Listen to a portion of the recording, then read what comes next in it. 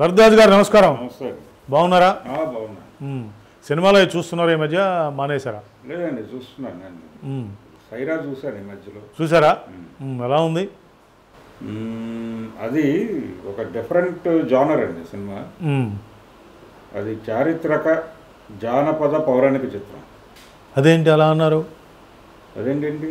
తెలుగులో ఏ చారిత్రక సినిమా అయినా కానీ అది చారిత్రక జానపద పౌరాణిక చిత్రమే అయి ఉంటుంది. మనకి నాటకాల నుంచి అబ్బుండొచ్చు ఆ జబ్బు. మనం ఎన్టీ రామారావు గారు చేసినటువంటి బొబ్బిలి యుద్ధం సినిమా చూడండి మీరు. లేకపోతే పల్నాటి యుద్ధం సినిమా చూడండి. ఈవెన్ అల్లూరి సీతారామరాజు. సీతారామరాజు గారి గెటప్. ఇతర కోయవీరుల గెటప్పులు. అలాగే మహిళా పాత్రల గెటప్పులు. ఇవన్నీ చూస్తే ఆ గెటప్పులన్నీ కూడా జానపద చిత్రాల్లో కనిపించే గెటప్పులే అవును ఈ జానపద చిత్రాల గెటప్పులతో చారిత్రాత్మక చిత్రాలు తీయటం అనేది మనకి ఒక ట్రెడిషన్గా వచ్చింది మ్మ్. దీనిలో ఏంటంటే కొంత మైథలాజికల్ కంటెంట్ కూడా నింపుతారు అంటే అతను ఒక దైవాంశ సంభూతుడు పురాణ పురుషుడు మ్మ్. పురాణ పురుషుడు మ్మ్. పొరపాటున విష్ణుమూర్తి అవతారం ఎత్తాడేమో అనే భ్రమ కలిగించే లెవెల్కి ఆ క్యారెక్టర్ని పెంచుతారు ఆ పెంచడం అనేది మీకు ప్రతి సినిమాలోనూ కనిపిస్తుంది. బొబ్బిలి యుద్ధం సినిమాలో తాండ్ర పాపారాయుడు క్యారెక్టర్ని ఆ లెవెల్కి పెంచుతారు. అట్లాగే మీకు కృష్ణదేవరాయలు మీద రెండు మూడు సినిమాలు వచ్చినాయి. మహామంత్రి వచ్చింది. తర్వాత రామకృష్ణ. వచ్చింది. ఆ సినిమాల్లో కూడా కృష్ణదేవరాయలను కొంచెం. లేపే ప్రయత్నం జరుగుతుంది. ఇలా ఒక దైవాంశ సంభూతుడు. హీరో అని చెప్పడం అనేది. మనకి సాంఘిక చిత్రాల్లో కూడా కనిపిస్తుంది ఆ ధోరణి. అలా చూసుకుంటే గనక. సైరా సినిమా గురించి మాట్లాడుకుంటున్నాం కాబట్టి అది ఒక చిన్న ప్రాంతం. రాయలసీమలో ఒక ప్రాంతానికి జమీందారు లాంటి ఒక పాత్ర. అది కూడా వా- అప్పటికి అవన్నీ రద్దయిపోయి దత్తమండలం కింద బ్రిటిష్ వాళ్ళకి ఇచ్చేసిన తర్వాత. జరిగిన కథ ఇది అవును కాబట్టి భరణం ఇస్తూ ఉంటారు. ఆ భరణంలో కూడా ఇతను దాదాపు మూడో తరం. వారసులు లేకపోవడం చేత ఇతన్ని అడాప్ట్ చేసుకుంటారు వాళ్ళు ఓకే అడాప్షన్ కూడా కాదు నిజానికి. ఇతన్ని వారసుడిగా నెక్స్ట్ హెయిర్ కింద లీగల్ హెయిర్ కింద ప్రకటిస్తారు అంతే. అంతే తప్ప దత్తత ఇవి కూడా ఏమీ జరగవు. సినిమాలు సినిమాలు చూపిస్తున్నారు కానీ. అవేవి జరగలేదు. ఇతను వాస్తవంగా ఆ ప్రాంతంలో ఆ భరణం తీసుకుని దాని మీదే ఆధారపడి బతికాడు ఆయన. ఆయన జీవనం. ఈ భరణం వస్తుంది కోట తన చేతిలో ఉంది. కాబట్టి ప్రజలతో కొంచెం మాట్లాడేవాడు ఆయన. ఆ మాట్లాడే క్రమంలో ప్రజలు ఏదైనా సమస్యలు చెప్పుకుంటే ఈ పన్నులకు సంబంధించి లేదు ఇతర బ్రిటిష్ అధికారులు తమను పెడుతున్నటువంటి ఇబ్బందుల గురించి.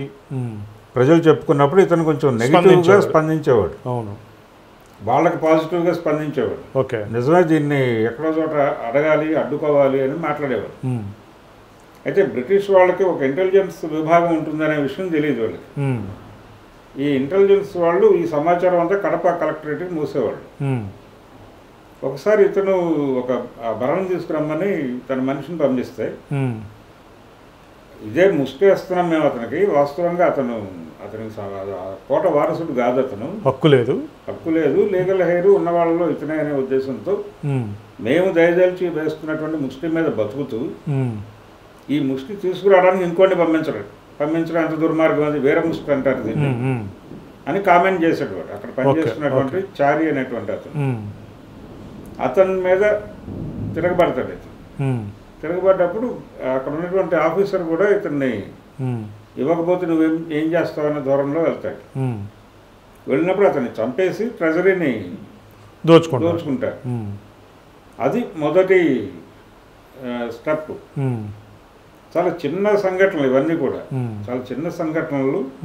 మీకు సినిమాలో ఎలా చూపిస్తారంటే దీన్ని అదొక మగ- మగధ సామ్రాజ్యం లాగా చూపిస్తారు అంటే కొంచెం హైప్ చేశారనుకుంటున్నారా? లేకపోతే అసలు పూర్తిగా వక్రీకరించారని అనుకుంటున్నారా లేదండి హైప్ చేశారు. సినిమాటిక్. లిబర్టీ తీసుకుని ఓకే. కొంచెం హైప్ చేశారు. ఆ హడావిడి లేకపోతే అక్కడ హీరో ఎలివేట్ కాదు. ఉద్దేశంతో. అవును. అవును చిరంజీవి లాంటి పెద్ద మెగాస్టార్ నడుస్తున్నప్పుడు కథను హైప్ చేయాలి తప్పదు. రెండోది అసలు ఈ సినిమా ఎందుకు ఎంచుకున్నారు అనేది ఒకటి మనం చూడాలి. సైరా అనే సబ్జెక్ట్ని ఎందుకు తీసుకున్నారు? దానికి ఏమైనా కారణం ఉన్నాయా స్పెసిఫిక్గా?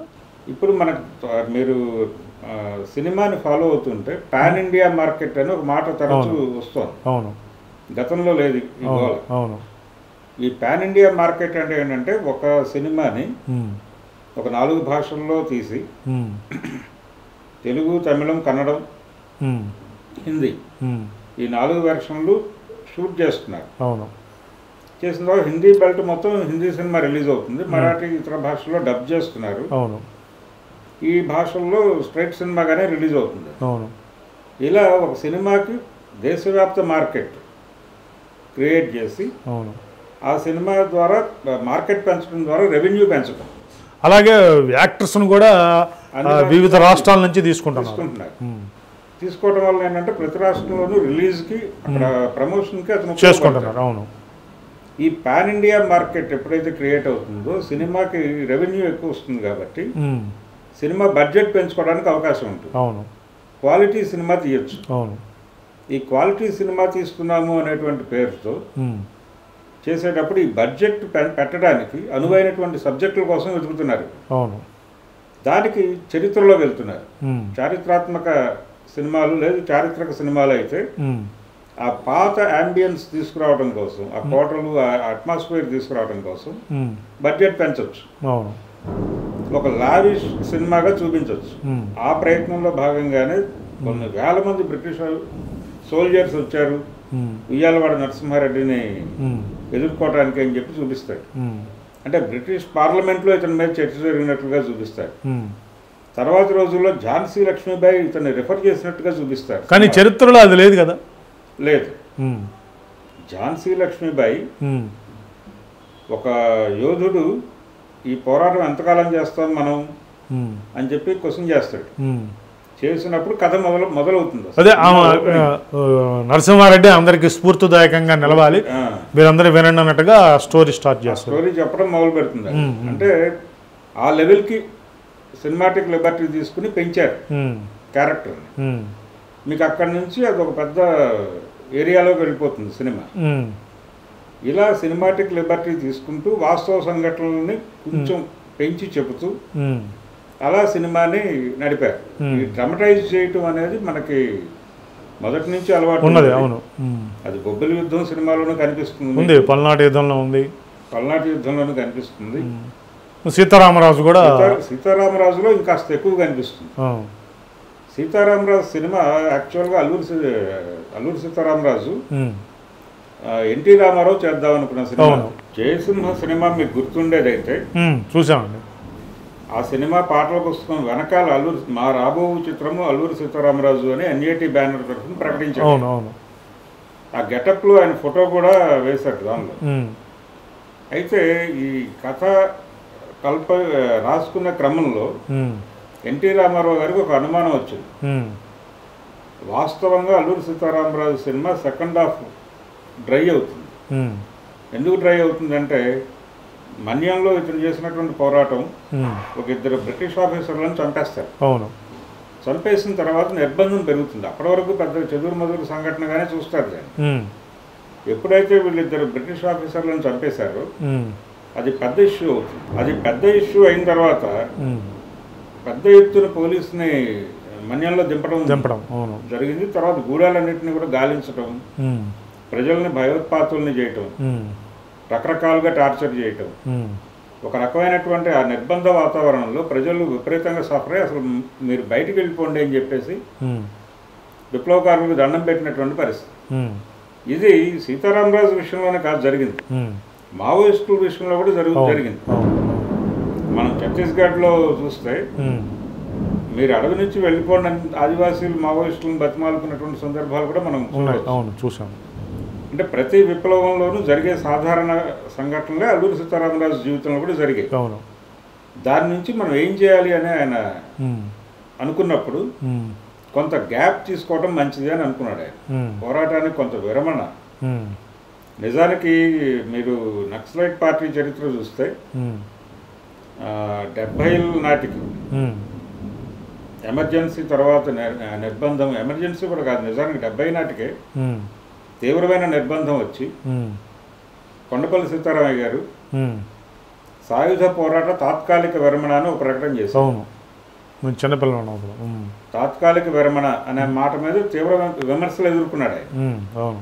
అయినప్పటికీ తాత్కాలిక విరమణే. మనం ప్రజా సంఘాలు పెట్టి ప్రజల్లో పనిచేద్దాము అని చెప్పేసి అప్పుడు విప్లవ రచయితల సంఘం రాడికల్ విద్యార్థి సంఘం యువజన సంఘం ఇవి పెట్టి మళ్ళీ ప్రజల్లోకి వెళ్ళడం మొదలు పెట్టాడు ఆయన. ఓకే. అంటే మొత్తం క్యాడర్ చనిపోయి రాష్ట్ర కమిటీ మొత్తం ఎన్కౌంటర్ అయిపోయినటువంటి సందర్భంలో ఏం చేయాలో గత్యంతరం లేక తెలియక ఆ పిలుపు ఇవ్వడం ద్వారా కొంత ఊపిరి పీల్చుకునే ప్రయత్నం చేశాడు ఆయన. కరెక్ట్గా ఇదే ఆలోచన అల్లూరు సీతారామరాజు కూడా చేశాడు. ఓకే. కొంత ఊపిరి పీల్చుకుందాం. కొంత బ్రీతింగ్ టైం కావాలి మనకి అని అనుకుని లొంగుబాటు దిశగా ఆలోచించాడు ఆయన. వెళ్ళి లొంగిపోదాం. వాళ్ళు తీసుకెళ్ళి రాజమండ్రి జైల్లో పడేస్తారు. కొంతకాలం తర్వాత మనం విడుదలవుతాం. విడుదలైన తర్వాత అప్పటి పరిస్థితిని బట్టి మళ్ళీ దీన్ని రైట్ చేసుకోవచ్చు. మళ్ళీ రైజ్ చేసుకోవచ్చు. ఏం చేయాలనేది ఈ లోపల ఆలోచించుకోవడానికి ఒక టైం దొరుకుతుంది అనుకున్నాడు ఆయన. ఈ సరెండర్ అవడానికి వెళ్ళే క్రమంలోనే ఇన్ఫార్మర్ల ద్వారా ఆయన ఆచూకీని తెలుసుకున్నటువంటి బ్రిటిష్ వాళ్ళు ఆయన్ని పట్టుకుని కాల్చి చంపేశారు. ఓకే. ఆంధ్రప్రదేశ్ చరిత్రలో ఉమ్మడి ఆంధ్రప్రదేశ్ చరిత్రలో మొట్టమొదటి ఎన్కౌంటర్ అల్లూరు సీతారామరాజుదే. ఈ సంఘటనలు చూసిన తర్వాత దీన్ని ఎట్లా జస్టిఫై చేస్తాం మనం? అతను దైవాంశ సంభూతుడై ఉండాలి కదా హీరో. హీరో క్యారెక్టర్ గ్రాఫ్ పడిపోతుంది కదా. డ్రై అవుతోంది. డ్రై అవుతోంది అనే పదం రామారావు గారు వాడాడు. సెకండ్ హాఫ్ డ్రై అవుతుంది. దీన్ని ఎలా సస్టైన్ చేయాలో నాకు అర్థం కావట్లేదు అనే పదాలు ఆయన మహారాజుతో మాట్లాడాడు. ఈ ఉద్దేశంతో ఆయన సబ్జెక్ట్ని పక్కన పెట్టేసి పాండురంగ మహత్యం సినిమా తీసాడు ఓకే. అది పెద్ద హిట్ ఆ తర్వాత గులేబక్కవాళ్ళు కదా అట్లా కొనసాగింది కదా అంటే మహారాజే ఆ సినిమాకు. అప్పటికి మహారాజు లేడు. ఈ ఆలోచన మళ్ళీ ఆయనకు బందిపో కంచుకోట టైంలో మళ్ళీ తొలిచింది. అవును కంచుకోవడానికి మహారాజు రైటరు. కంచు బందిపోటు నుంచి మహారాజుతో మొదలు. కంచుకోట టైంలో మళ్ళీ పురుగు తొలిచింది తొలిచి మహారాజుతో అడిగాడు. సీతారామరాజు తీయాలని నేను అనుకున్నాను. ఈ కారణం చేత నేను ముందుకు అడుగు వేయలేదు. దీనికి ఏదైనా వేఅవుట్ చూడగలవా? అని అడిగాడు. ఓకే. అడిగితే ఈయన కొంత టైం తీసుకుని ఆ వేఅవుట్ ఎట్లా ఉంటే బాగుంటుంది అనేది కొన్ని ఒక ఐడియా చెప్పాడు ఆయన. చెప్పిన తర్వాత ఆయన ఏం చేశాడంటే ఆయనకు నచ్చలేదు. ఆయన ఎక్కడ భయపడ్డాడంటే ఇది చరిత్ర వక్రీకరణ అవుతుందేమో ఉమ్, అనే ఉద్దేశంతో ఎంకరేజ్ చేయలేదు. ఉమ్, ఆ తర్వాత ఆ సబ్జెక్ట్ వద్దులే నువ్వు ఆపేసి నీ పని నువ్వు చేసుకో అని చెప్పాడు ఆయన. తర్వాత ఏం జరిగిందంటే వాళ్ళు దేవుడు చేసిన మనుషులు సినిమా పూర్తయి అది హిట్ అయిపోయిన తర్వాత ఇంకొక బిగ్ రేంజ్ సినిమా తీయాలనుకున్నాడు కృష్ణ. అనుకున్నప్పుడు మహారాజుని కథ అడిగాడు. Hmm. ఆయన అల్లూరు సీతారామరాజు తీయాలనేది ఒరిజినల్ కృష్ణ ప్రోగ్రామ్ కాదు. ఏ సినిమా మీ దగ్గర ఏమైనా కథ ఉందా అని అడిగాడు. ఆయన అప్పుడు మహారాజు చెప్పిన ఆలోచన ఉమ్, మీరు ఎలాగో ఈ సినిమా పెద్ద హిట్ అయింది. ఇంకొక బిగ్ మూవీ తీయాలనుకుంటున్నారు మీరు. కాబట్టి అల్లూరు సీతారామరాజు అయితే బాగుంటుంది అని నేను అనుకుంటున్నా. ఉమ్. దానికి సంబంధించి నేను కొంత వర్క్ చేశాను. ఒక హింట్ ఇచ్చాడు జస్ట్ అన్నాడు. అంటే మీరు ఏం పని చేశారో చెప్పండి నాకు అని అన్నాడు ఆయన. కృష్ణ సోదరుడు హనుమంతరావు అని ఉండేవాడు. అవును జి హనుమంతరావు. హనుమంతరావు కృష్ణ ఇద్దరు విన్నారు. విన్నప్పుడు ఎన్టీ రామారావు గారు అడిగాడు నన్ను నేను ఆయనకి కొన్ని వేఅవుట్స్ చెప్పాను. అయితే ఆయనకు మనస్కరించలేదు. అందుకని డ్రాప్ అయిపో అని చెప్పాడు ఆయన. మీరు పర్వాలేదు అంటే కనుక నేను కంటిన్యూ అవుతానని చెప్పాడు ఆయన. అప్పటికే కృష్ణ అసాధ్యుడు అనే సినిమాలో సీతారామరాజు పాత్ర ఒకటి చిన్న. చేశాడు. రామచంద్రరావు డైరెక్షన్ కూడా. నిజానికి అలాంటి నేపథ్యం రామారావు గారికి కూడా ఉంది. అవును. అగ్గిరాముడు సినిమాలో ఒకటి ఉంది. అల్లూరి సీతారామరాజు నాజర్ బుర్రకథ ఉంటుంది. అవును అవును ఈ రకమైన పోలికలు ఉన్నాయి ఇద్దరికి. అంటే కృష్ణ ఇన్స్పిరేషన్ ఇన్స్పైర్ కావడానికి అది కూడా ఒక కారణం ఉండొచ్చు. అయి ఉండొచ్చు. అయితే మనం ఆల్రెడీ గెటప్ వేస్తున్నాం కదా అనేది ఒక ఇన్స్పిరేషన్. ఇప్పుడు సీత పాత్ర అసలు లేదంటారు అల్లూరి సీతారామరాజు రియల్. చరిత్రలో? సీత పాత్ర కల్పనే. సీత పాత్ర కల్పన అది మాత్రమే కాదు. ఆ సినిమాలో రోజర్ ఫర్ కలెక్టర్తో ఆయన నేరుగా. సంభాషించిన సందర్భాలు లేవు ఆయన చరిత్ర ఆయన ఏ విప్లవకారుడు కూడా నేరుగా వెళ్ళి కలెక్టర్తోనో లేకపోతే ప్రధానమంత్రితోనో మాట్లాడే పరిస్థితి ఉండదు కదా. ఈవెన్ నక్సలైట్లతో చర్చలప్పుడు కూడా హోంమంత్రి కూర్చున్నాడు మన దగ్గర. అవును. కాబట్టి ఆ ఆ లిబర్టీ తీసుకున్నాడు ఆయన. మహారాజు గారు ఏం చెప్పారంటే నాకు ఒక ఏడు సినిమాలు నేను వదులుకుని దీనికి వచ్చాను దీనికి వస్తాను డెడికేటెడ్గా కూర్చుంటాను కాబట్టి నాకు దానికి సంబంధించిన ఏడు సినిమాలకి వచ్చే రెమ్యూనరేషన్ కూడా మీరు ఇవ్వాల్సి ఉంటుంది అనేది కండిషన్ దానికి ఒప్పుకున్నారు ఆ సినిమాకి వీళ్ళకి అద్భుతమైనటువంటి టీం కుదిరింది. అవును. ఆదినారాయణరావు లాంటి సంగీత దర్శకుడు. అవును. మహారాజీ. మరోవైపు. స్వామి. స్వామి. ఇట్లా? వి రామచంద్రరావు. రామచంద్రరావు గారు. కేఎస్ఆర్ దాస్ ఉన్నాడు మళ్ళీ దాస్ తర్వాత వచ్చాడు. చివరిలో వచ్చి. దాస్ తర్వాత వచ్చాడు. అంటే ఒక అద్భుతమైనటువంటి టీం పనిచేసింది వెనకాల. ముఖ్యంగా రైటర్లు. శ్రీశ్రీ గారు ఉన్నాడు ఆరుద్ర ఉన్నాడు. మహారాజు స్వయంగా రెండు పాటలు రాశాడు ఆ సినిమాలో. రగిలింది విప్లవాగ్ని ఆయన రాసింది. ఈ అద్భుతమైన పాటలు ఉన్నాయి ఈ బ్యాక్డ్రాప్లో కృష్ణకి గెటప్ అద్భుతంగా సెట్ కుదిరింది. గెటప్ మీద తెర వెనక ఉన్నటువంటి బలం మీద బలగం మీద నడిచిపోయిన సినిమా అది. సైరా విషయానికి వచ్చేసరికి సమస్య ఏంటంటే మీకు ఆదినారాయణరావు లాంటి సంగీత దర్శకుడు లేడు. లేడు. ఒక ఎమోషనల్ మ్యూజిక్ అదే ట్యూన్స్ ఇవ్వటానికి తెలుగు సాంప్రదాయం కూడా కలవాలి అక్కడ. అవును. ఆ రకమైనటువంటి సంగీతపు భరోసా లేదు. బ్యాక్గ్రౌండ్ అద్భుతంగా ఇచ్చాడు. ఇప్పుడు పెట్టుకున్నటువంటి మ్యూజిక్ డైరెక్టర్ వాళ్ళు. అతను అద్భుతమైన బ్యాక్గ్రౌండ్ ఇచ్చాడు. అది మోతగా ఉందనేటువంటి విమర్శలు కూడా ఉన్నాయి. అయినప్పటికీ ఆ రకమైనటువంటి మ్యూజిక్ సపోర్ట్ లేదు సినిమాకి.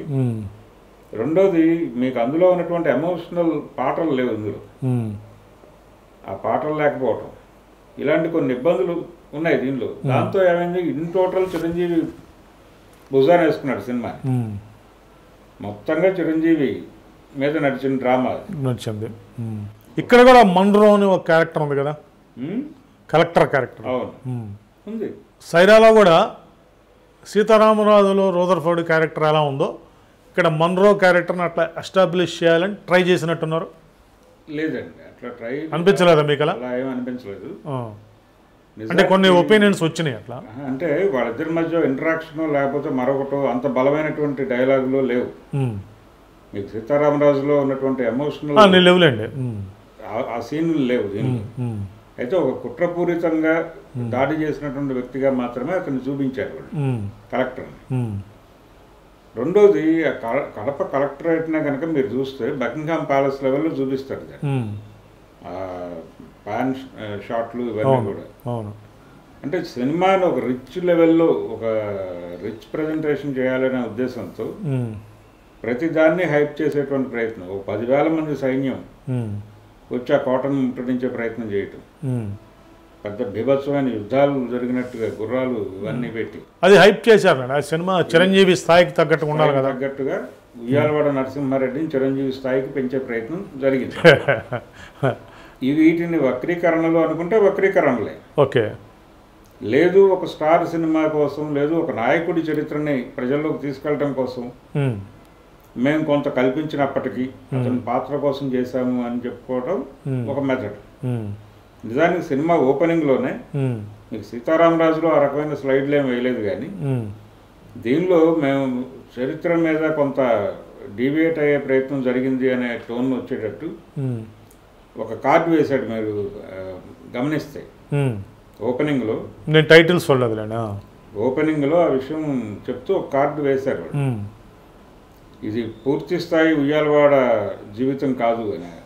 దీనిలో చెప్పారు ఆయన జీవితంలో జరిగిన కొన్ని సంఘటనల ఆధారంగా ఆ పాత్రను మేము రీబిల్డ్ తీసుకున్నాం. చేయడం జరిగింది అనే మాట కూడా వాళ్ళు చెప్పుకున్నారు ఓకే అంటే ఒక లిబర్టీ తీసుకునే ప్రయత్నం ఈవెన్ మీకు మహానటి సావిత్రిలో కూడా ఆ కార్డు వేస్తారు మొదట.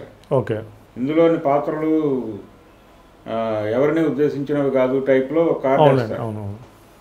అంటే బయోపిక్ తీస్తూ బయోపిక్ అని చెప్పి సావిత్రి పాత్ర రామారావు పాత్ర నాగేశ్వరరావు పాత్ర ఇవన్నీ అలాగే పరిచయం చేసి. ఇవి ఎవరిని ఉద్దేశించినవి కాదు అంటే ఎవరిని మోసం చేస్తున్నట్టు అలా అది అలాంటి కార్డే ఇందులో కూడా వేశారు.